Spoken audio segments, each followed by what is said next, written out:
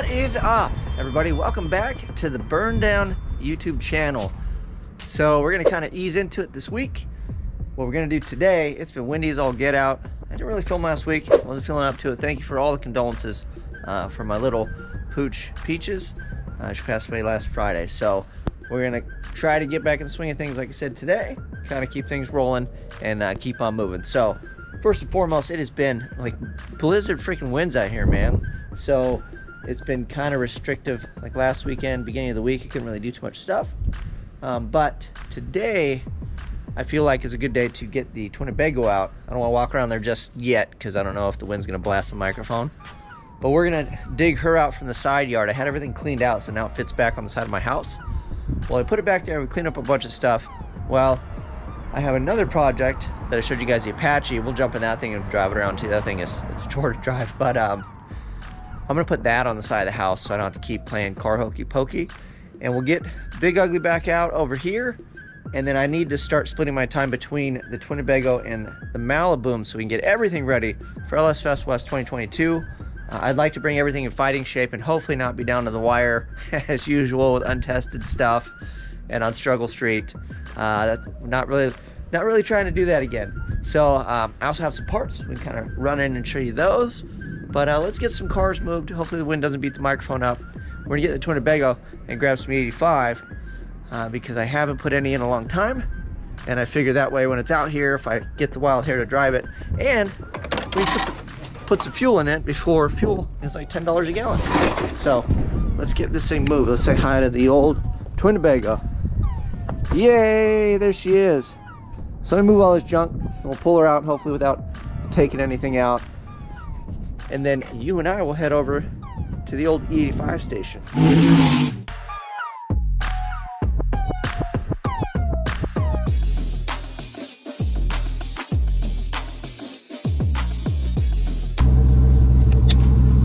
All right, that was a tight fit. She fired right up. Gotta love a turbo Winnebago. But uh, yeah, I mean, this thing is barely barely fit between my car. So anyway, let me get the rest of this situated, kind of put my crap away before I just go driving off my motorhome. And then uh, I'll bring you back when we're on the road to get some fuel. I should probably clean the window too, because I can't see anything, but let's get on the road before I run out of gas. Oh, look who decided to join us. Say hi to everybody. So what was your option? Your option was go with me or go with mom, right? Yeah, we're going to Where was mom going? to get cookies. Oh, and you chose to go with me instead of getting cookies? Yeah, because since that um, I want to go to gas station, gas station is more faster. Somebody found Roblox, so he just wants to get back home and iPad. So, all right, uh, we are ready to roll.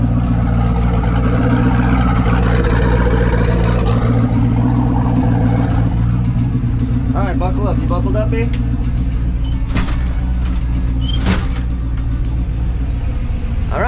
Go. Let's see if we can make it on over to the old gas station.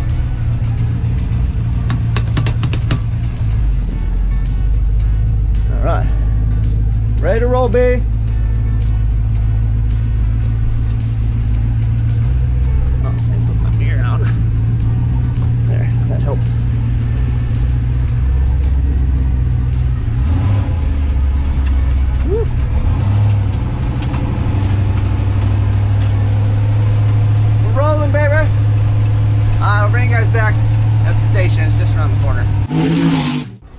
the Eagle has landed, and uh, we had to do some laps, huh, B? Don't turn that on, please. Silly guy. Boy, you wash your hands? Don't make a mess. No, just leave it off, please. Anyway, uh, we're gonna go outside, and we gotta get fuel. And then what else? Sugar, candy. Uh, we'll see. All right, let's go inside. I'm gonna get this spray Brush 85. You hit the button. right now. You want me to put it in there first? All right, let her rip.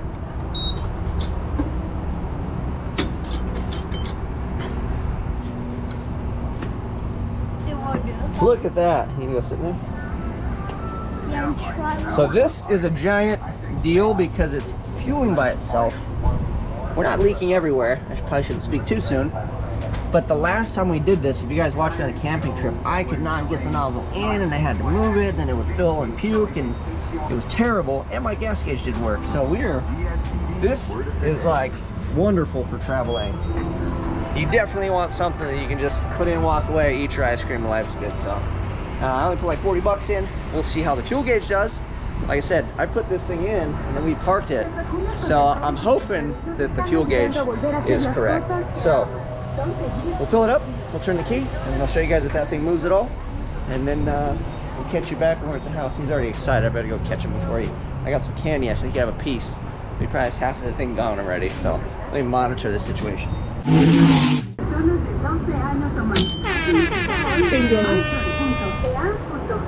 That's never gonna get old. Oh, you gonna set a problem with me this time? We got seatbelts you can jam right there. You already locked in? All right. That is sweet. That is what I am talking about. So let's put this on.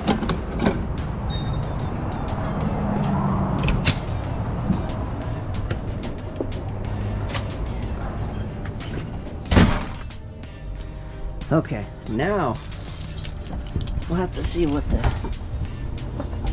let's see what the gas gauge does. So we had like quarter of what it was saying.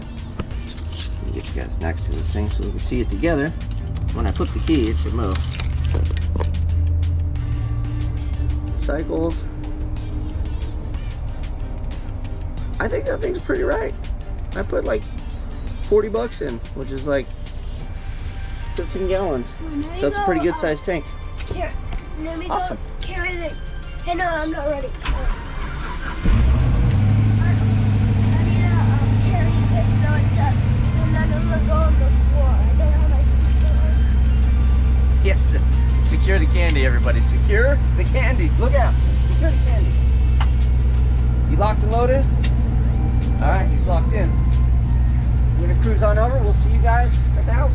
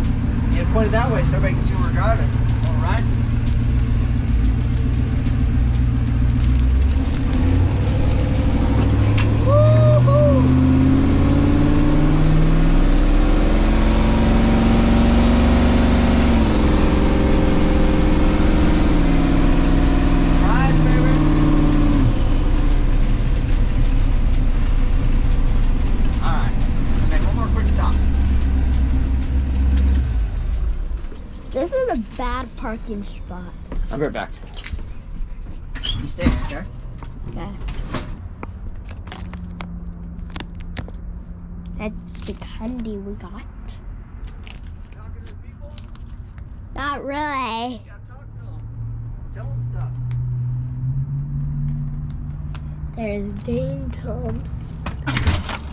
Yeah, tell everybody what's going on. Uh, what's up, Dane Thompson? What's up, Wes Thompson? What's up, driver? What's up, baby driver? What's up, Candy Man? Candy dog. I'm a candy dog. I'll eat this in one day. I know you look too crazy. I will sneak this in it. No, I would never.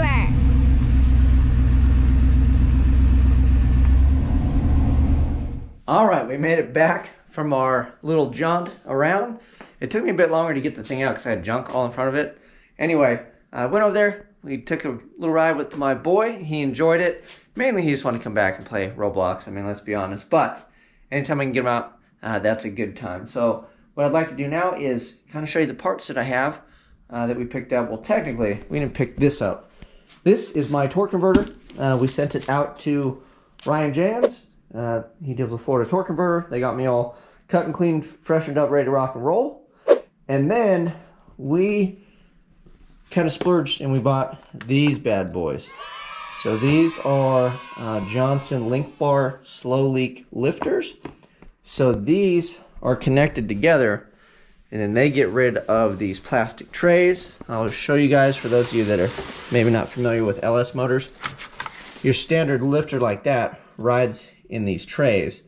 And when these trays wear out, the lifter can wiggle and then they explode and they take your cam out and they make you sad. And then if you're like me, you ignore everybody and you're like, no, no, it wasn't that. I'll just put it back together, not replace the trays. And you do it two times in a row and it cost me a bunch of money in lifters and cams. I had to get two sets of lifters and then two cams before I learned my lesson that time around. So uh, these lifters are pretty much, there's Morels and then Johnson's. People are on the fence on what's better. But anyway, um, it's a nice part and I figure hopefully they can be in there for a while. I'm planning on putting this engine together and being nice to it so we can just do like 60 foot and learn how to really drive the car. Typically I just get in and we kind of leave like we're going down a gravel road and uh, you know I'd like to make it a little more exciting and if I don't have to push the boost on the big end to run the number, if we can come out of the hole a little bit better. Granted, I think that's harder on parts, but it's more exciting for me. It's probably more exciting to watch and that's what we're gonna try to do. So with that being said, um, I also went ahead and talked to Matt Happel over at Sloppy. Uh, he they restocked some cams, and he came out with his own line of cams. It's called the Best Cam, and I just kind of felt weird slapping these in. And then the cam that I have is still good, but it's a Summit Stage Two. It was fine, other than the fact that I'm pretty excited to get uh, Happel's cam in my motor because it's a 110 and a half LSA, and this is like a 113 plus four or something. The LS, I think the LS, I don't know, don't quote me. Maybe I could put the specs on the screen, but it's a Summit Stage 2. Anyway, the LSA on this thing is probably better for turbo application, from what I understand, but it makes it quiet. It makes it run like a normal car. And um, if you don't have the choppy chop, I mean, come on, what are you even doing? What kind of race car doesn't have the choppy chop and the potato potato and all the fun stuff? And I can't have a Winnebago that sounds beefier than my race car. So, um, and then honestly, it's not as much that as it is. I like to support my friends. So thank you very much uh, to Happel for coming up with something rad that's affordable. Uh, go check it out. He's probably be sold out again, but um, it's called the Best Cam, and it is one of the best Stage 2 cams you can pretty much get according to the Holdener review that he did from what I saw. And if it's not the best there, it's the best priced cam. So regardless, it's the best uh, at something. And apparently it's American made, and then it ships it from America. So he obviously either has them drop shipped or he ships them himself. I don't know how that works, but uh, you're getting a good product. It's not a cheap, cheaply made product, but it's a good price for hot rodders like you and for me. Um, so yeah, I pretty much broke the bank putting the engine back together. We're supposed to be refreshing, but I'm hoping that second time is a charm and I'm not a complete idiot, and then hopefully we can uh, work on 60 foot, and like I said, and keep this engine together and keep it in the car. It makes plenty of power. We'll run it turned down for a while and see if we can work on the 60 foot half track and all that. Because I know where the dial is to turn the thing up, and that's the easy part. Uh, and at some point, maybe I'd like to do that. But for now, I'd like to keep it one piece because I have a motorhome that we have to build. And then we're supposed to do a little racing with the Maliboom at LS Fest already. I'm already getting called out by my buddy F-Bomb again. And uh, it's really terrible because now that I have decent parts, um, when he beats me this time, it'll actually be embarrassing. It was fun when it was like even, but I know that he has nothing to lose and he will wood the hell out of that five streets that he has in there. And he's running nines with that thing.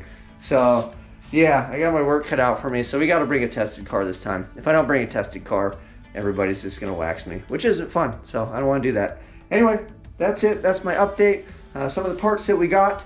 Big thank you to Happel for making cool cams that we can afford. So you guys go check that out. Ryan Jans, if you need a torque converter, you hit him up. His link is in the comment section. Um, and then I also got the lifters through Ryan as well. So big thank you and shout out to Ryan for helping me out. He helps me out with my converters and then some of my speed parts. Excuse me. And then when we get to 480 stuff, um, he's gonna be my go-to guy. So he knows Jake from Jake's Performance and they can talk or do whatever, but I know Ryan better than Jake. So whatever Ryan kind of, you know, steers me in the direction of when we rebuild and do things, he's already kind of given me some advice. Uh, we will do that, but that will be later uh, in this season. So that's it. Uh, feel like a nice little easy video, kind of a talking head video, but we get you guys up to speed, and then we can start getting back after it, getting some work done. I'm looking forward to getting back in the saddle, back in the seat, and having a little fun. So I hope you guys are looking forward to coming along and enjoying the ride. Till next time, I'm out.